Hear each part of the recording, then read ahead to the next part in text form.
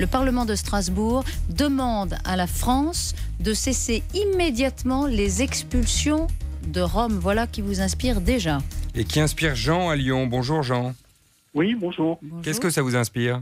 Je vous remercie de prendre mon appel. Je vous en ben, prie. ça m'inspire qu'il faudra peut-être nous expliquer euh, où est le pouvoir, parce que finalement, on n'y comprend plus rien.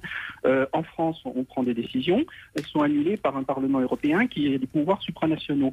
Alors, il faudrait peut-être qu'on nous explique en matière de nationalité si c'est la France qui a encore un pouvoir pour gérer sa nationalité Mhm. ou si c'est le Parlement. Parce que c'est vrai que c'est fatigant, aussitôt que nous prenons des dispositions à cet égard, qui ne vont pas dans le sens de la pensée unique européenne, on est tout de suite sanctionné. Alors bon, bah, finalement, alors que quand même les sondages ont confirmé que les Français voulaient qu'on mette un peu d'ordre dans la politique euh, d'énorme immigration que nous avons et qui n'est pas arrêtée aujourd'hui.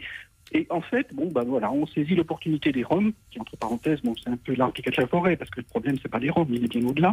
Et on nous sort euh, une opposition euh, d'un pouvoir qui n'a pas été élu. Alors, d'un pouvoir qui n'est pas contraignant, on le précise, hein, parce qu'une résolution du Parlement européen ne s'impose pas à un État, comme Non, par mais- exemple une délibération de la Commission européenne Oui. qui peut le mettre en demeure pour le coup d'arrêter. Oui, Ça a une valeur bien. politique et symbolique, mais qui, Oui, est assez forte bien, quand même. Quand on entend la fanfare médiatique, euh, et s'ajoutera à ça la fanfare euh, du Parlement européen, vous imaginez les désordres que ça va faire en France, parce qu'on sait très bien que ce n'est plus le peuple qui gouverne, c'est même pas les représentants du peuple, c'est les influences diverses, médiatiques. Merci RTL, on a encore une information qui tient à peu près la route.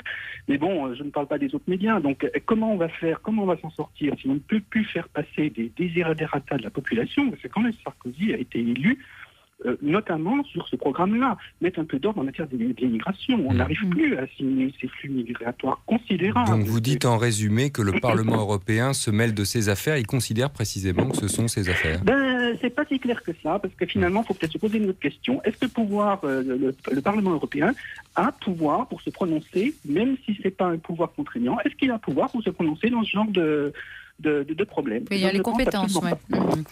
Je pense que c'est pas son problème et qu'ils ont bien assez à faire déjà à essayer de nous pondre un nouvel impôt, hein, au détriment effectivement. euh, Ah, on va en parler. Ah, vous parlez, mais justement, c'est le parler. sujet qui suit. Hein.